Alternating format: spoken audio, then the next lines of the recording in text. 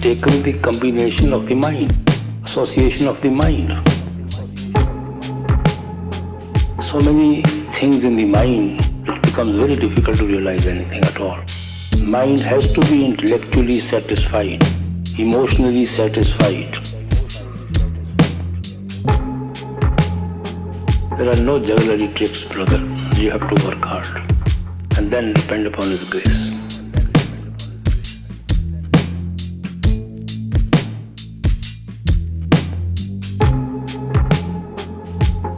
But the mind is direction is outside into the world. So both things are there.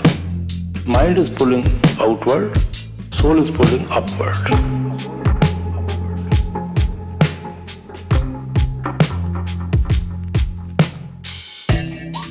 But is there anything at my level of consciousness now that I can recognize as being soul within myself?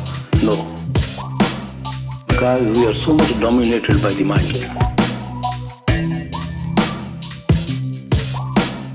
Soul is absolutely under the sway of the mind. So you cannot recognize your soul at all. when you go beyond the realm of mind and Maya, mind and Maya, mind is no more.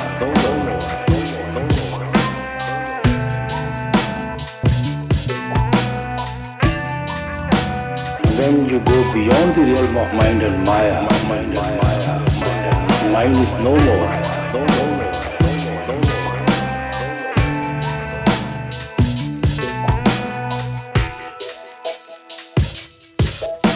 Christ said, knock and it shall be open. Master said, the door is locked on the inside and Maharaji has the key. Rabia said, why do you knock on an open door? Sahib said, why are you so shy?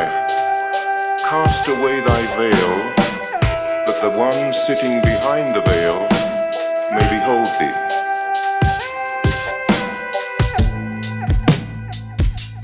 At least let us go to the door. If it is open, we'll walk in, otherwise we'll knock it. Let us first find the door. Self-analysis and self-pity doesn't lead us anywhere at all.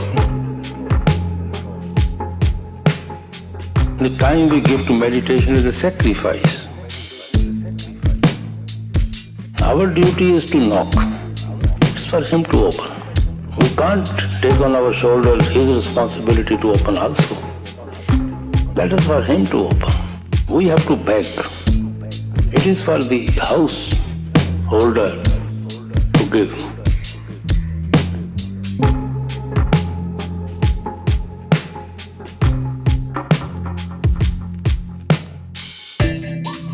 is there anything at my level of consciousness now that I can recognize as being soul within myself? No. Because we are so much dominated by the mind. Soul is absolutely under the sway of the mind. So you cannot recognize your soul at all.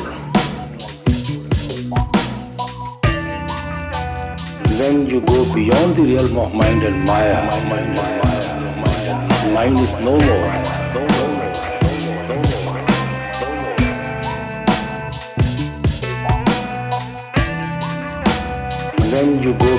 The realm of mind and Maya, mind, is no more. So you are mind.